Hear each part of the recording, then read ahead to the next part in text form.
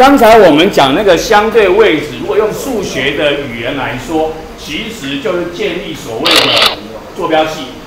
坐标系有类似各位在地理学上所学过的经纬度，就是一个坐标系。坐标系，那坐标系有一种是简单的，也是我国中目前理化有用掉的，啊，有用到是直线。等我们待会再说。那基本上你就会在数学上学过，要建立一个坐标系，必须要找到一个基准点、原点，还要定好方向，还要有一个单位长度，啊，多长？啊，一公尺、一公里，什么多长？一二三四要定出来，这样才会建立一个坐标系。这个是你在数学上就学过的事情。然后讲过了，那可以建立的一种呢是直线，是我们地理。数学上有学过，也是我目前理化上主要用到，就是它，因为我们叫叫直线运动，都在直线上动，所以要找到一个原点，要个基准点，然后有个方向，正方向还有负方向，然后呢还有单位长度一二三四，因此就有个巴黎铁塔。那么按照这个坐标系，我的巴黎铁塔的位置在哪里？请你用一个完整的。正确的叙述来说明，在在这里该如何来描述这个位置？该如何描述这个位置？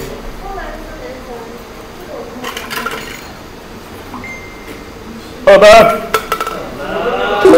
二十八。请坐。这个描述要写的叫做正三。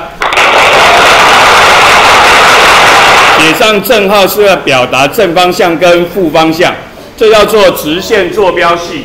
但是你在数学上，你平常用的多的应该是一个直角坐标系、平面的坐标系。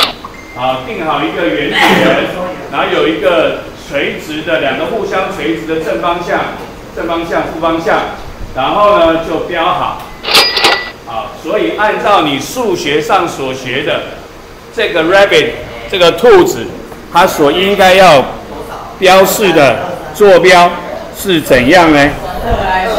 啊，按照你数学上所学的，它的标示应该是长成怎样呢？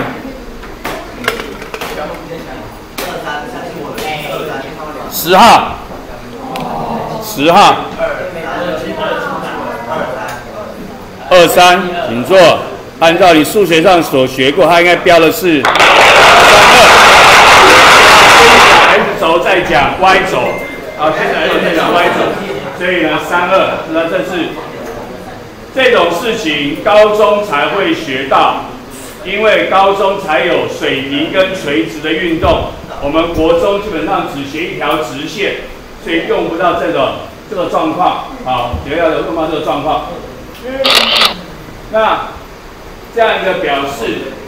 所以坐标表示法，然后如果是以右方当做正方向，右边当做正方向，单位长度是定做公尺，公公尺，啊，那所以，然后呢，所以 A 点的坐标正五公尺，也就是在右方五公尺的地方，啊，右方五公尺，正五公尺的地方，那么 B 就是在什么？要写作负二。方两公尺的地方，这就是所谓的直线坐标系来表达的方式，然后就那个表达方式。所以呢，我们想请问你，如果把 B 当做原点，把 B 当做原点，请问你如何表达 O 跟 A 的坐标？好，表达 O 跟 A 的坐标，O 在哪里？A 在哪里？好，一次回答好。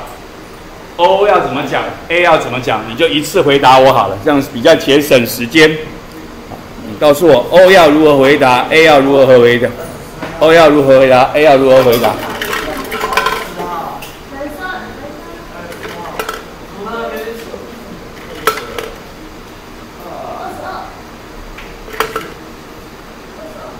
为什么我抽不到男生？二十二的啦。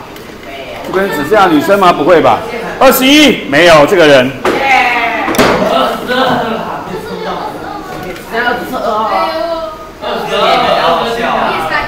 二十二。